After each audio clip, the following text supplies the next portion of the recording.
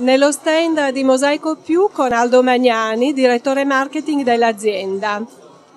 Allora, nello stand vediamo già questa dichiarazione di intenti, si parte dall'arte cinetica e si arriva alla tridimensionalità, collezioni improntate quindi a materiali differenti che si sposano tra loro e alla tridimensione. Certo. Sì, diciamo che il tema che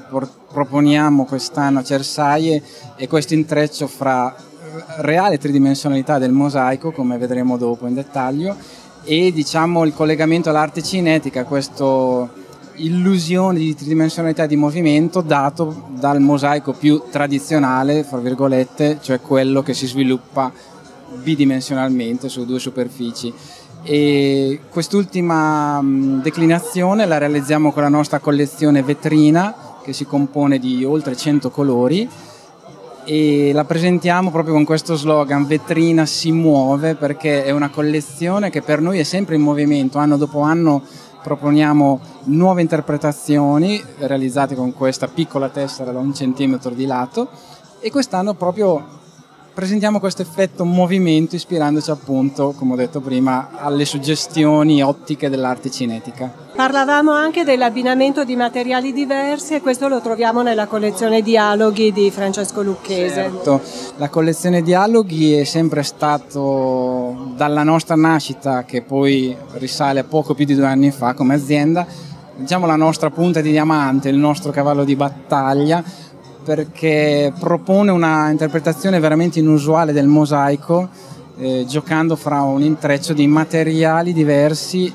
e forme diverse. L'abbiamo sviluppata con Francesco fin dall'inizio, la collaborazione continua e anzi quest'anno ho subito un'accelerazione perché abbiamo introdotto nuove materie, 5 essenze di legno e 4 tipologie di pietra con le quali si può giocare su dei layout appunto disegnati da Francesco Lucchese, ma combinando un'estetica e un look del mosaico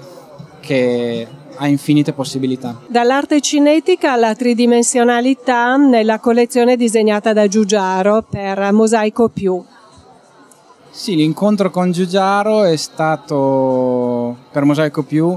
una vera innovazione, nel senso che siamo sempre alla ricerca di nuove interpretazioni nel mosaico e ci siamo detti con chi possiamo cercare una collaborazione che possa produrre qualcosa di veramente innovativo? E in Giugiaro Design abbiamo incontrato una realtà del design italiana che è anche diciamo, nuova nel settore del rivestimento. Per cui la ricerca non ha scaturito diciamo, un pattern decorativo come magari può fare un fashion designer, ma una novità vera e propria in termini sia di materiali impiegati sia di aspetto fisico della tessera,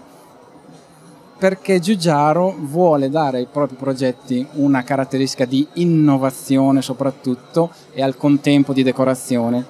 E quindi è nato questo progetto formato da un paio di tessere la cui superficie in colori spesso austeri, comunque tecnologici che ricordano l'industrial design, è mossa a due inclinazioni in questo caso e una bombatura nel caso a mio fianco